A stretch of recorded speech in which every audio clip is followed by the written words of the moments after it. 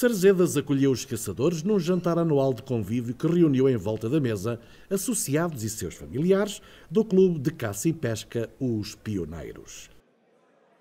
Os Pioneiros contam já 180 sócios para duas reservas de caça de cerca de 17.700 hectares, localizadas na freguesia de Sarzedas e com sede na Malhada do Servo. Todos os anos, na montaria de fevereiro, dois javalis são retirados aos troféus e guardados para o jantar convívio de março. A esta festa juntam-se os familiares e até os proprietários de terrenos na reserva de caça, que não são caçadores, também eles marcam presença.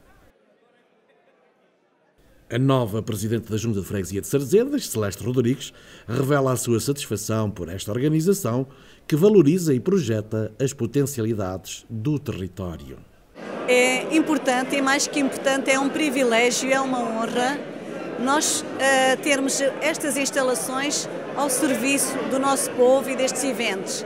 Eu ainda há bocadinho, aqui na nossa introdução, eu disse que este salão da junta hoje passaria a chamar-se a Casa do Povo da Freguesia, exatamente para que as pessoas utilizem este espaço e que tornem viva cada vez mais a nossa freguesia e possam surgir mais eventos, porque de facto isto é extremamente importante para nós que estas situações aconteçam. Para o presidente da Associação de Caça e Pesca, Amável Gonçalves, a realização deste convívio é motivo de muita alegria e de união entre todos.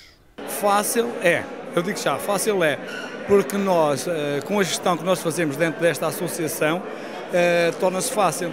E nós, eh, rapidamente, temos aqui, tá, hoje temos previsto para esta 180 pessoas, hoje para aqui temos previsto 180 pessoas, onde eram os sócios, sócios, caçadores, os sócios, caçadores, com as famílias, não é?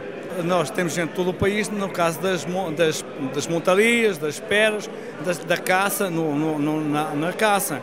Nós temos aqui, vem aqui todo o país, no caso das montarias e tordos, vêm aqui pessoas de Viana do Castelo, Barcelos, eh, Lamego, eh, Alcobaça. Amiga amada, esta é uma área que até em termos turísticos tem que ser explorada. Sim, sim. Nós aqui, em termos turísticos, devia ser explorada. Devia ser explorada. Só que nós estamos numa zona uh, de minifúndio que é um bocado difícil. Parcelar as terras. É, parcelar é muito difícil. Porquê? Porque fazer, talvez por falta de iniciativas de pessoas, mas nós a nível de caçadores, uh, é difícil um caçador tomar uma iniciativa quando tem uma pequena propriedade. Uh, Há pessoas que têm aqui as maiores propriedades, são proprietários, mas não são caçadores. A associação foi fundada em 1990, faz para julho que vem 24 anos. E na altura, eu fui fundador, um, sou sócio número um, e fui fundador da associação. Pus o meu dinheiro para fundar a associação. E, e nessa altura, nós começámos, tivemos realmente até problemas que havia aqui uma divergência entre caçadores, eu depois consegui resolvê-los. O nome da associação é a Associação de Caça e Pesca com os Pioneiros. Porquê? Porque não pusemos sarzedas, não pusemos malhada do céu, para não identificar com qualquer aldeia, porque a das Sarzedas tem 37, tinha na altura 37 aldeias. Para não ser das sarzedas, porque não tinha nada a ver com as sarzedas, nem para não fazer discriminação em relação a qualquer aldeia, nós fizemos os pioneiros para não, podemos, podemos chamar outro nome qualquer, para nós, embora nós tenhamos todos os caçadores da freguesia hoje dentro da associação, mas a associação é uma associação que não está ligada a, a, está ligada à freguesia, mas não está ligada a nome de qualquer aldeia, não é identificada.